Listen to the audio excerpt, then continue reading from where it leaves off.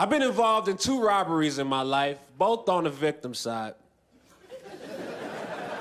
they got handled in different ways. One when I was 23, one when I was 13. When I was 23, I was walking in a bad neighborhood in Chicago. A guy walked up behind me and says, Give me all your money or I'm gonna shoot the shit out of you. I'm gonna shoot the shit out of you. Yo, you wanna shoot shit out of me?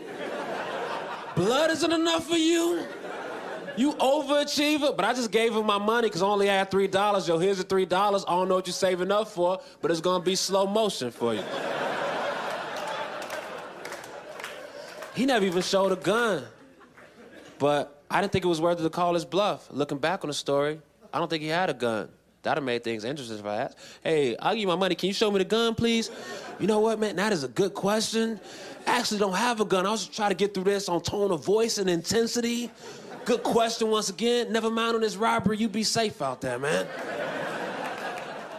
But that's how I handled at 23, very passively. When I was 13, me and my friend Ken were walking to his building. Out of nowhere, this kid rides up on us on a bike and says, Do I know y'all? But I didn't have my glasses, so I was squinting there like, nah, nah, man, I don't think we've ever met before.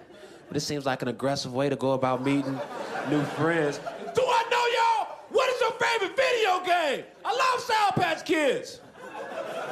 But he sold a gun and says, Give me your money. And my friend Ken, he just kept walking into his building like a robbery wasn't happening. like, hey, Ken, this dude is robbing us.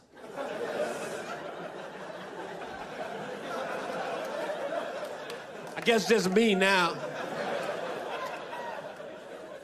Even then, Ken knew the secret. If you put out into the universe that a robbery isn't happening, then a robbery isn't happening.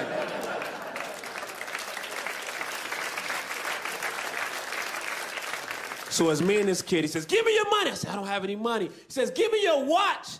And at the time, I had this Arizona brand watch that my sister bought me for my birthday. Estimated value, $20. But it's not about that.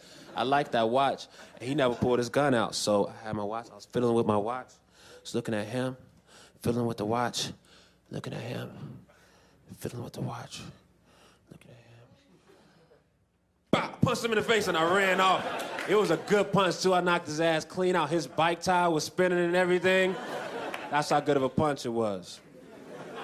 So it got around the neighborhood that I did that, and people were saying, Hannibal, you shouldn't have done that. You should have just gave the kid your watch. And no, he should be better at robbing people.